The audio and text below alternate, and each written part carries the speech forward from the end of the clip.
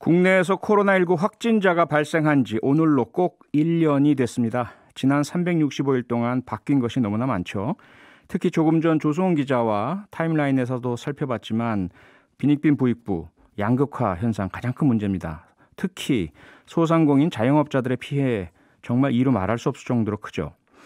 소상공인의 코로나19 이전 매출액과 이후 매출액을 비교해서 그 차액을 지원하자는 방안이 그래서 정치권에서 제기됐습니다. 이 방안을 내놓은 민병덕 더불어민주당 의원과 어, 한번 짚어보겠습니다. 민병덕 의원님 안녕하세요.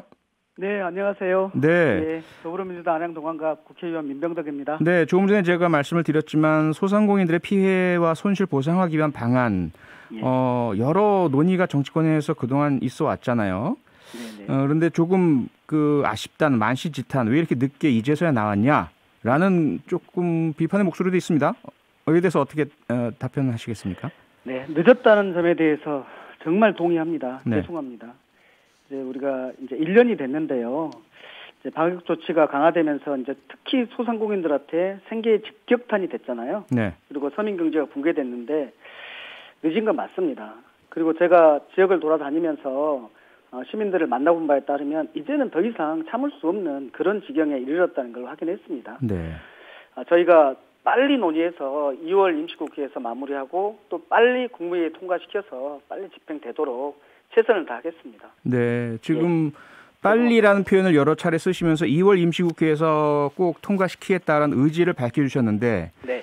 의지와 현실에는 많은 차이가 있는 게 사실 아니겠습니까? 과연 이게 어, 이 2월 임시국회 통과 현실성이 있습니까? 저는 그 더불어민주당 많은 의원들 지금 이 법안을 가지고 설득하고 있고요. 네. 그리고 또 하나는 어, 국민의힘당이라든지 정의당이라든지 저와 기본 정신을 기회를 같이 하는 그런 법안들을 말을 하고 있습니다. 네네. 구체적인 숫자에 있어서의 뭐, 뭐, 세세한 차이는 있을 수 있을지언정, 예. 어, 공익을, 감염병 예방이라는 공익을 위해서 희생한, 특별한 희생을 한 분들에게는 손실을 보상하는 것이 헌법상 정당하다라는 기본 관점. 네. 이 관점은 저랑 일맥상통하다고 생각을 합니다. 그렇기 음. 때문에 저는 충분히 논의가 잘 될 수 있을 거라고 생각을 합니다. 네. 음, 국민의힘 정의당 등 다른 정당에서도 기본적으로 코로나19로 피해 입은 소상공인을 위해서 그 손실을 보상해주는 보존해주는 입법 준비들은 다 하고 있다. 네. 그러므로 서로 제대로 된 협의만 하면 현실화 충분히 가능하다 이런 말씀이죠. 네네네. 네, 한번 이번엔 제대로 정말 여야가 싸우지 않고 머리를 맞대고 어, 힘을 합칠지 지켜봐야 될 것 같고요. 어쨌든 서민 서민 경제를 파탄시키지 말고 네.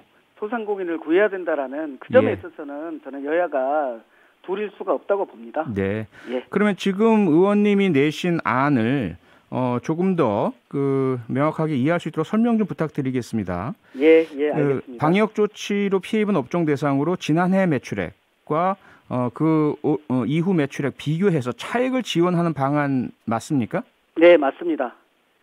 예, 제가 좀 말씀드리고 싶은 것은 네.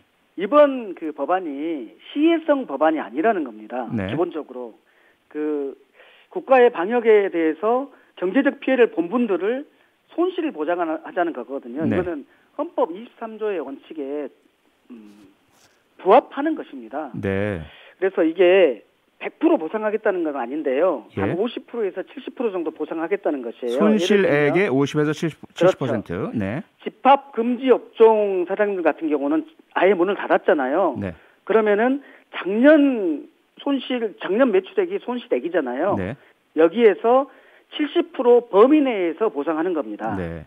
3천만 원을 한도로 해서. 네. 그리고 영업 제한 업종 같은 경우에는 그 작년과 올해 매출액을 대비해서 예. 차익이 나는 매출액을 손실 매출액이라고 하고 네. 그것의 60% 범위 내에서 보상하는 겁니다. 네. 그리고 집합 제한이나 금지 이해의 소상공인들 네. 어, 제가 보기에는 5인 이상 식당도 좀 포함시켜야 될 것 같은데요. 네. 그런 일반 업종 사장님들 같은 경우에는 그 작년 매출액과 올해 매출액 차이를 빼가지고 50% 범위 내에서 음. 보상하자는 것이고 네. 이게 너무 그큰 보상액이 큰 업종이 있을 수 있잖아요. 네. 그러니까 상한을 두는 겁니다. 과도한 보상이 몰리는 것을 막기 위해서 네. 어, 집합 금지 업종 같은 경우는 3천만 원 한도 내에서 집합 제한 업종 같은 경우에는 2천만 원 한도 내에서 일반 업종 같은 경우에는 1천만 원의 한도 내에서 하는 것입니다. 네. 제가 구성한 게 충분하진 않지만 네네. 재정을 감안해서 최소한의 음. 어, 나름 합리적으로 짜봤습니다. 네. 지금 설명을 듣다 보니까 한 가지 조금 문제가 떠오르는 것은 뭐냐면 어, 신고 액수 기준이지 않습니까? 소득 신고 액수 기준인데 소상공인 자영업자 중에는 매출 소득이 제대로 잘 안 이루어지는 분들도 부득이 계시고요. 그다음에 작년 한, 작년 한 해 특히나 어, 처음 시작했거나 매출이 오르지 못한 특성을 가진 분들 같은 경우는 손실이 거의 없게 나올 수도 있지 않습니까? 이런 문제는 어떻게 합니까? 네, 그 부분과 관련해서도요. 좀 말씀을 드리면 네.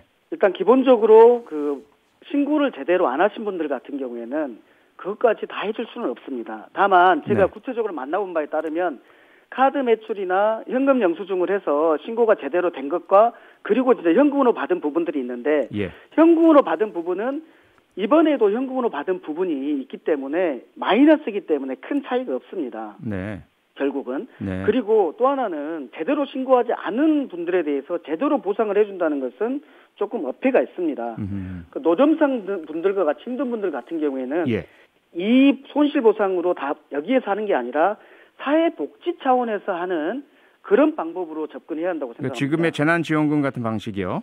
그렇죠. 네. 그 다음에 이것이 네. 또 세금 납부를 정확하게 하신 분들에 대한 정확한 보상의 관점이 저희 음. 법안 안에 들어가 있습니다. 네. 그리고 아까 말씀하신 예. 어 이제 이제 그 개업한 지 얼마 안 되신 분들 그렇죠. 예. 이런 분들이잖아요. 예. 이렇게 구성을 했습니다. 2010 2020년 6월 이후에 개업하신 분들 같은 경우에는 네. 개, 제일 처음에 개업 때는 매출액이 별로 안 나오잖아요. 그렇죠.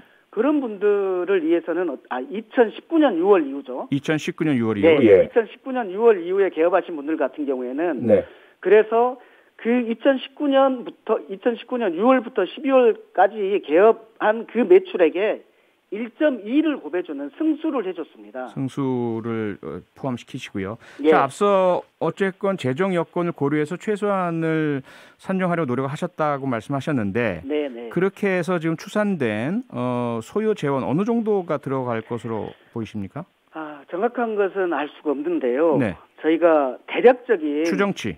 예, 추정치는 네. 월 한 24조 이 정도였습니다. 월 24조 원이요. 예, 월 24조 이 정도였는데요. 네, 월 24조 원이면 네 달이면 100조 원 가량이고요. 예. 이건 전체 대한민국 예산의 5분의 그 1을 넘지 않습니까? 네, 네. 어, 5분의 1 가량 되죠. 6, 어, 600조 정도 되니까 이 엄청난 재원인데 이건 어떻게 마련하죠? 저는 기본적으로 어, 나라가 나라 에, 나라가 빚을 제한다고 생각합니다. 국채를 발행하고 국채로 국채를 발행하고 한국은행이 네. 그 국채를 매입해서 그러면은 그만큼 통화량이 늘어나는 거잖아요. 네. 경제 활성화를 위해서도. 그래서 첫째는 국가가 책임진다. 국채를 발행해서 한다.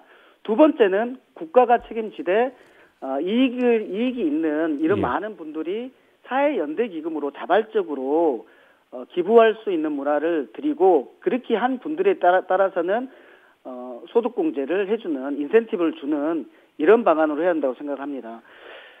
그러면 국채 발행을 하고 어, 사회 연대를 통한 기부라는 것은 세금 이외 뭐 준조세나 혹은 어, 재단 형성 이런 것들을 추, 어, 종합적으로 말씀하시는 겁니까? 네, 네, 네. 네, 일단 그런데 문제는요 아시다시피 네. 지금도 재난지원금만 두고도 어, 재정 건전성 우려가 계속 나오지 않습니까? 국가 부채 어, GDP 대비 40% 넘어섰다, 큰일 났다 이런 얘기까지 나오고 있는 상황인데 과연 현실성이 있을까요? 그 저는 우리가 재정 건전성의 함정에 빠지면 안 된다고 생각합니다. 네. 기본적으로 저희 나라는 재정 건전성이 매우 좋은 나라입니다. 외국에 비해서. 예. 그리고 더 중요한 건 뭐냐면 국가가 빚을 안 지기 위해서 국가를 위해서 희생한 특별한 희생을 하신 분들에게 빚을 고스란히 떠넘기고 그것을 외면한다는 것은 네. 헌법 정신에도 반하고 정의의 관념에도 반합니다. 네. 아까 말씀하셨던 우리 표빈님께서 말씀하셨던 사회 양극화가 훨씬 이번에 코로나 때문에 심화될 텐데 그것을 네. 그대로 두자는 얘기입니다. 네네. 때문에 저는 국가가 책임을 지는 차원에서 국채를 발행해서 하고 음. 그리고 우리가 몇 년 걸쳐서 사회 공동원 전체가 그 재정 건전성을 위해서 노력하는 것 네. 이것이 어, 사회 연대라고 생각합니다. 네, 일단은 국채 통해서 양극화 해소하고 어, 많이 피해 입으신 분들에게 보상을 하고 재정 건전성을 위한 방안은 다, 아, 달리 노력을 하자 이렇게 이해가 됩니다. 네, 네, 맞습니다. 지금 많은 분이 문자를 주고 계신데요. 2202님, 저는 안경원을 하는데 월세를 7개월 동안 내지 못하고 카드깡 해가면서 현재 전세 보증금 다 없어지고 있습니다. 미쳐버릴 지경입니다. 이런 네, 분이 많으실 것 같고요. 예. 9011님, 다 좋은데 언제 법안 발의되고 통과되나요? 자영업자인데 기다리다가 진짜 굶어 죽습니다. 지금 발의를 하셨습니까? 발의하실 예정입니까? 발의를 이번 주 내로 할 예정입니다. 이번 주 내로요. 네, 네. 의원, 의원님들하고 논의들을 계속 거치고 있고 네. 그 논의를 거치면서 조금 더 정치화되고 있고 좀더뭐 세분화되고 있습니다. 네. 앞서 의원님 말씀 주셨지만 지금 의원님뿐 아니라 뭐 강훈식 의원 그 임대료 보, 어, 보존 최저임금과 임대료 보존 법안이죠. 그다음 이동주 의원 손실보상위원회 만들어서 구, 체적 보상금액 정해서 어, 구제 법안 어, 마련하겠다 이런 말씀 주셨고 국민의힘 또 정의당 어, 여러 가지 법안들이 나오고 있습니다. 어, 가장 핵심인 게 어쨌든 어, 시급성이고요. 또 하나가 앞서, 앞서 말씀드렸지만 정부에서 협조 아니겠습니까? 네네. 그런데 아시겠지만 오늘 김용범 기획재정부 1차관은 어, 이렇게 얘기했습니다. 1차적으로 살펴본 바에 따르면 소상공인 지원을 법제화한 나라는 찾기가 쉽지 않다. 다른 나라도 피해가 발생하면 그때그때 정부와 국회가 논의해서 탄력적으로 프로그램을 짠다. 법제화를 통해서 해결할 문제가 아니다라는 반대 의사를 표명했습니다. 어떻게 보십니까? 예, 저도 언론을 통해서 접한 내용이라 구체적으로 말씀드리기 어렵습니다만은 네. 해외 사례가 있어야만 우리도 할 수 있다는 논리는 맞지 않다고 생각합니다. 네. 뿐만 아니라 제가 알기로는 독일에서도 영업 중단에 대해서 매출액의 75%를 보상하고 있는데요. 네. 제가 설계한 이 제도에서도 집합 금지 업동 같은 경우는 70% 범위 내에서 대통령령으로 정한다고 돼 있고 네. 집합 금지 집합 제한 업종 같은 경우에도 60%의 범위 내에서 대통령령으로 정한다고 돼 있습니다. 즉 네. 결국은 어 국회에서는 기본 얼개를 마련하고 구체적으로 탄력적으로는 정부에서 하는 겁니다. 네. 그렇지만 정부에서 안 하고 있기 때문에 이 기본 정신에 따른 즉 특별한 희생을 진 사람에 대해서 정당한 보상을 해야 된다는 이 기본 정신을 국회에서 법제화를 만들고 그 구체적 구체화는 정부에서 하는 것입니다. 네.